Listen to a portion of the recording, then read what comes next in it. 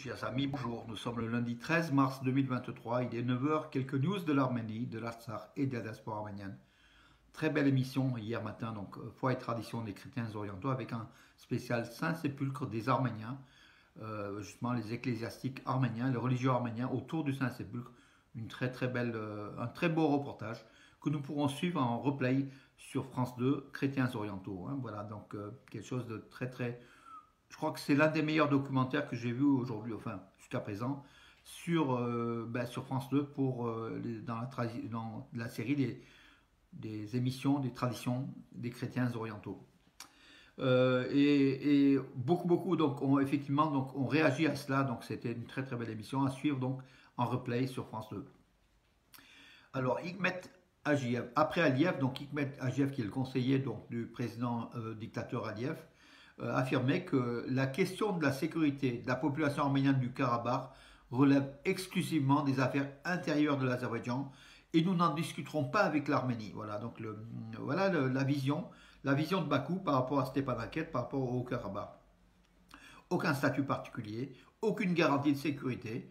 Pour, pour, pour, pour Aliyev, euh, le Haut-Karabakh fait partie du territoire de l'Azerbaïdjan, tout simplement sans distinguer la population qui euh, d'origine, en fait, hein, les Arméniens, et leur sécurité.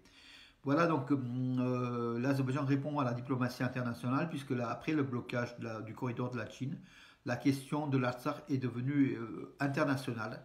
Et Bakou n'aime pas trop que les autres s'occupent un peu, enfin, s'immiscent dans ce qu'elle considère des affaires intérieures. Voilà, donc pourtant, pourtant la population de l'Artsar a une majorité écrasante a manifesté pour dire non, non, nous ne voulons pas intégrer l'Azerbaïdjan. C'est impossible. Impossible de vivre avec des génocideurs, avec un, État, un État qui ne veut qu'une chose, c'est liquider, la population arménienne, faire des, épurations ethniques et qui est anti-arménienne à fond.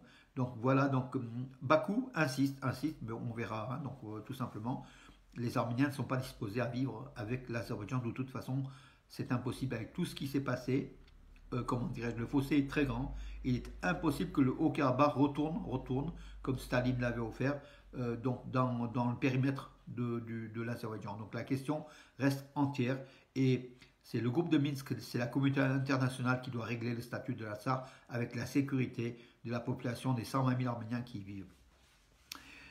Euh, voilà, Théodosie, Théodosie c'est la ville où est né Aivazovski, donc Vanessa Aivazovski, le peintre des marines, c'était en, l'Empire russe, aujourd'hui redevenu russe en Crimée. Euh, le musée d'Aivazovski va ouvrir ses portes euh, l'été prochain. Un très beau musée. Hein. Donc en fait, Aivazovski est né et mort à, Théodosie. Hein. donc voilà, c'était le, génie des peintres des marines hein, en fait, de tout ce qui est lié à la mer. Euh, voilà, avec aussi beaucoup de références à l'Arménie, au Moharat, l'Arche de Noé, Aivazovski, pardon, qui est un, qui est bien sûr arménien, euh, arménien de, de, l'Empire russe, euh, qui, a très, très, qui était proche de l'Arménie de ses racines. Hein. D'ailleurs, la Galerie nationale d'Arménie a plusieurs toiles d'Aivazovski. Elle a même réalisé des expositions très très intéressantes. Voilà. Quel pays peut-on visiter sans visa depuis l'Arménie, avec le passeport arménien? De nombreux pays, des dizaines de pays. Donc la liste est, fournie par le ministère arménien des Affaires étrangères, mais aussi euh, sur le site de Armenius, euh, donc des nouvelles d'Arménie. Deux personnalités marquantes du cinéma arménien, donc l'acteur Sos Sarkisian et le réalisateur Henrik Madian, vont avoir leur rue à Yerevan. Et ce n'est que justice, hein, en fait, hein, c'est le minimum. L'ambassadeur d'Arménie en Syrie a transféré donc euh, l'assistance de la fondation Hayastan des fonds aux écoles arméniennes de l'attaquier de Kessab. Donc Kessab, c'est un village arménien à la frontière turco-syrienne. Euh, au nord donc, de la Syrie. Et l'attaquer, c'est aussi un port donc, au, nord, au nord-ouest de, la Syrie, où il y a une communauté arménienne, une petite communauté arménienne avec une école, donc l'assistance. Donc les Arméniens, avec le fonds arménien, aident, ces écoles. C'est l'ambassadeur d'Arménie en Syrie qui a transféré donc l'enveloppe hein, donc financière pour aider ces écoles suite au séisme hein, qui ont été très très affectés par le séisme du 6 février dernier. Euh, alors, euh, oui, euh, donc oui, Google, Google, Google Workspace for Education Fundamentals euh, sera mise en place dans les écoles arméniennes. Donc, en fait, les écoles arméniennes ont, conclu un contrat avec Google, en fait, avec un intermédiaire de Google, pour, euh, pour justement euh, mettre en place cette boîte à outils en fait, de, formation des écoliers qui, ouvrent des horizons en fait, hein, par Google, par beaucoup, beaucoup de choses.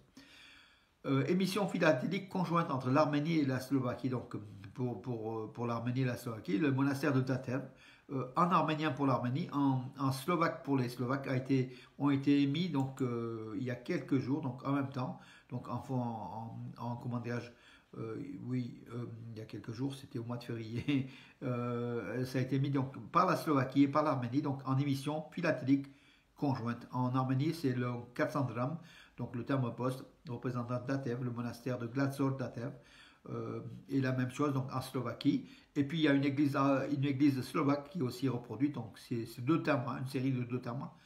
Voilà donc euh, entre Yerevan et Bratislava, euh, qui est la capitale de la Slovaquie, hein, qui, est, qui, est, très proche des Arméniens, il faut le dire aussi. Hein. c'est un petit pays de 5 millions d'habitants, mais très proche des Arméniens. voilà donc un accord philatélique entre la poste d'Arménie et la poste slovaque pour une émission conjointe qui a eu lieu, donc montrant, montrant comment le la proximité culturelle entre Arméniens et Slovaques. Voilà. Et puis en matière de, technologie de l'information, hein, donc tout ce qui est lié à, comment à Internet, hein, euh, en haute technologie, l'Arménie a enregistré pour la première fois en 2022 un, volume, un volume euh, d'affaires de plus d'un milliard de dollars. C'est extraordinaire dans l'économie arménienne. Ça pèse c'est technologie de l'information, technologie de pointe, de la haute technologie, avec beaucoup, beaucoup de sociétés informatiques, de sociétés, comment de logiciels, hein, voilà, c'est le mot est un peu dépassé, logiciel, mais ça rapporte beaucoup à l'Arménie. L'Arménie est, championne justement et son développement du secteur des IT, euh, information donc technologique, euh, se développe à une cadence extraordinaire du fait aussi, donc récemment, donc en 2022, avec l'arrivée des Russes, hein, en fait, de nombreux Russes qui avaient des sociétés en fait dans l'IT et qui ont développé le marché arménien, le marché mondial même de, depuis l'Arménie, voilà, basé en Arménie, des centaines et des centaines de nouvelles sociétés. Mais les Arméniens étaient déjà champions, hein, avec l'apport des Russes et des Ukrainiens, de, ceux qui ont euh, immigré en Arménie depuis la guerre euh, euh, entre la Russie et l'Ukraine. Ça a apporté beaucoup à l'économie de l'Arménie. Donc ça dépasse un milliard de dollars déjà de, transactions, hein, de, chiffre d'affaires entre l'Arménie et, l'étranger. Euh, c'est important. Voilà mes amis, écoutez, j'en ai fait le tour. Je regarde s'il n'y a pas une ou deux infos. Oui, l'Arménie ne signera pas le traité de paix avec, euh, sans les garanties de sécurité de, du Haut-Karabakh. on est assuré. Yerevan affirme qu'il n'est pas question de signer un traité de paix avec l'Azerbaïdjan sans tenir compte du statut de la sécurité des 120 000 Arméniens de la République de l'Atsar, dont il faut tenir compte, et dont Bakou, comme je l'ai dit tout à l'heure, ne veut pas en tenir compte. C'est le, le, le, point de, discorde entre les deux pays. Il y en a d'autres aussi, hein, puisqu'il y a comme les soldats azéris, environ 2000 soldats azéris sont sur le territoire arménien, sur trois régions, euh, euh, sur le, enfin sur, euh, à quelques kilomètres hein, de, leur, de, la frontière. Donc la, frontière reconnue de l'Arménie est aujourd'hui violée par les soldats de Azeri.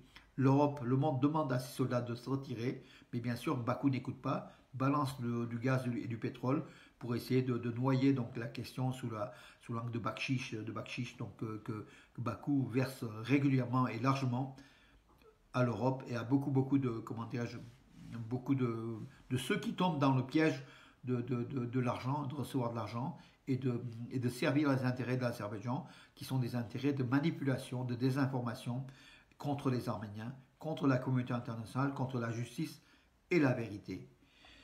Voilà mes amis, écoutez, j'en ai terminé pour aujourd'hui. Donc euh, lundi 13 euh, mars, je vous donne rendez-vous à demain. Bonne journée.